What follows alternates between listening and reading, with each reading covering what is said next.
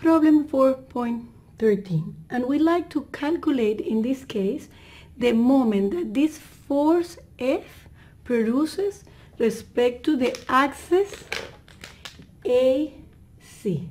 So here we have an axis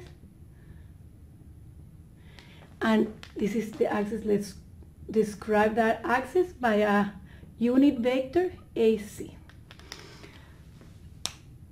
And we want to calculate the moment moment respect to that axis AC. The definition is that we can calculate the moment respect to any point of the axis. So it could be moment at A, scalar, the unit vector AC. But it could be also, since I can calculate it by any, any point that is located at the axis, I can use either A or I can say that the moment of that axis, which is a scalar, is the moment at C scalar that vector. So as you see, I can use, this is an O here. So it, I can use either approach because I can use any point of my axis. Since the point B, which the, where the force is located, is closer to C, I will use this approach. So I will calculate my moment respect to A of the moment at C. Let me write it down again. And moment at C will be equals to the vector, look, uh, the vector that the distance vector, right, from C to B, which is where I'm taking the moment to the point where the force is located, cross F, scalar AC. And to do this product, there's two different approaches. First, I can do this cross product and then a dot product with this vector, or I can include that everything in one matrix. So the first thing we have to do is find how much is this vector. Let me do it right here. So this vector AC will be the vector AC divided by the magnitude of the vector. So to go from A to C, I cover 4 feet in I plus 3 feet in J and I divided that and of course this is the square root of 16 which is 4 square plus 9 which is 3 square. So I already squared it. I don't have to write square here because it's 4 square. So that will be equals to 4 over 5 let me write that more clean right? So 4 over 5 in I plus 3 over 5 in J that's equals to 0.8 in I plus 0.6 in J. So that's this vector over here. So we were able to find this unit vector that describes this axis.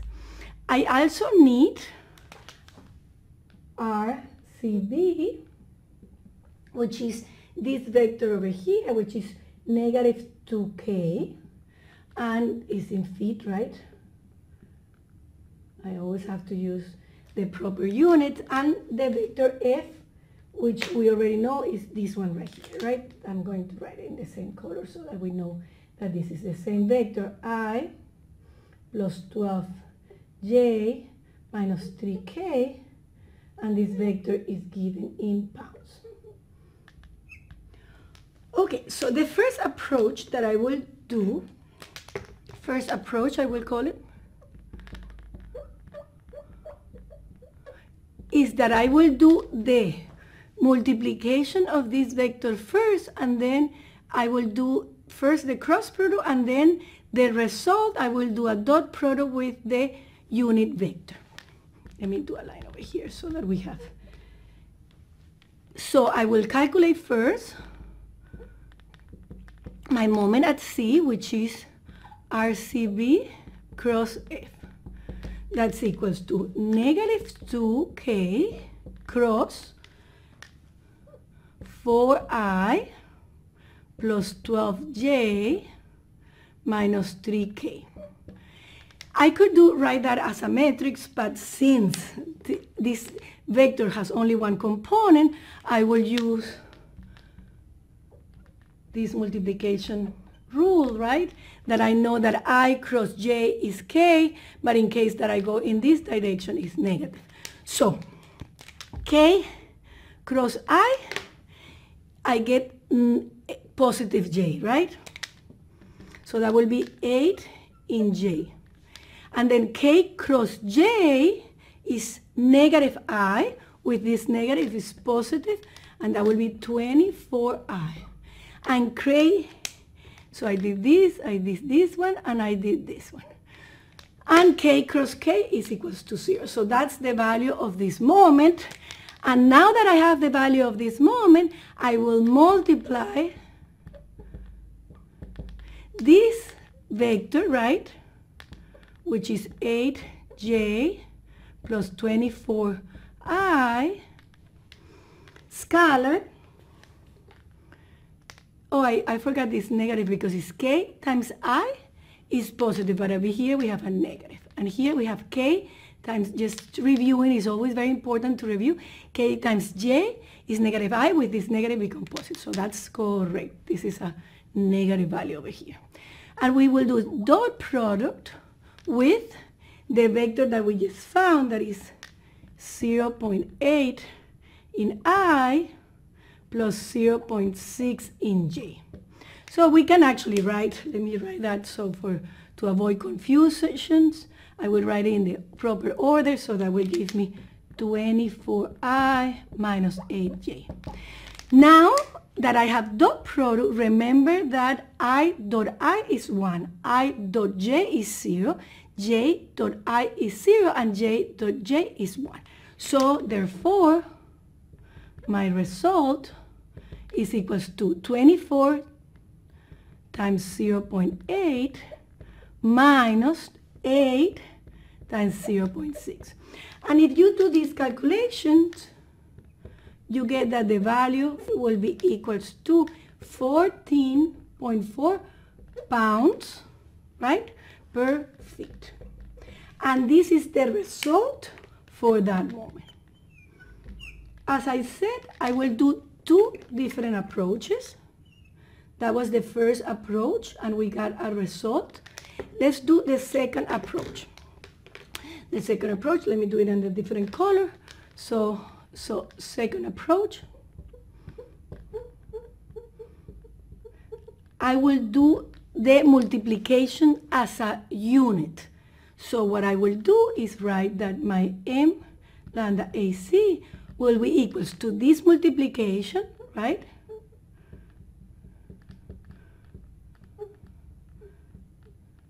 But what I am going to do is do that in a matrix form the first row will be my unit vector, the second row will be my vector CB, and my third row will be F.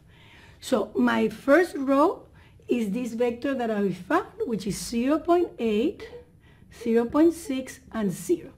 My second row will be negative 2, k, and my third row will be the vector f.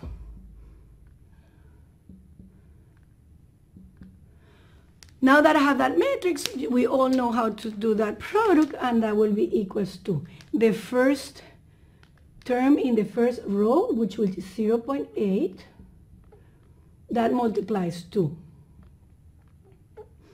0 times negative 3 minus 12 minus 2.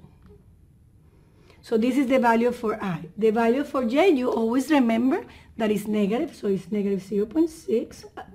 Even though this is a positive value, that has to, because it's a second column, it, you have to put a negative value, remember that, and that will be 0 times 0, negative 3 minus 4 minus 2.